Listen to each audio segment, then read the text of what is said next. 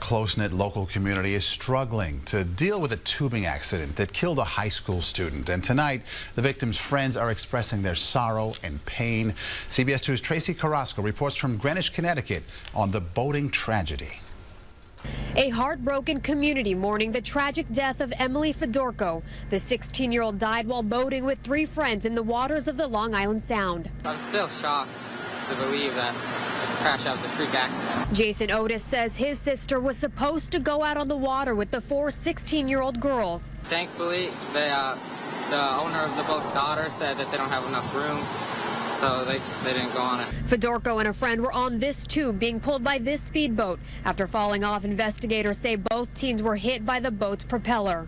Part of the investigation will determine how long they were out there, when they left, where they left from, those type of things, just like a motor vehicle accident. The second girl injured in the accident now being treated in the hospital for a leg wound. While investigators are recreating the accident, Fedorko's friends have taken to social media to express their sadness, including Sabrina Thurber, who was on the boat. She tweeted Wednesday, still can't believe what I witnessed today. You will never leave my heart and I will miss you forever. Others tweeted, I would do anything to see you one more time and never felt so much pain in my life.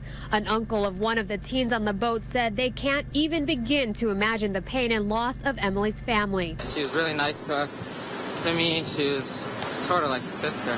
Investigators aren't saying who the boat was registered to, but that the 16-year-old operator was properly licensed. Emily Fedorko was set to start her junior year here at Greenwich High School along with the other teens involved in the accident. Grief counselors have been out here all day helping these students deal with this devastating loss. From Greenwich, Connecticut, Tracee Carrasco, CBS 2 News.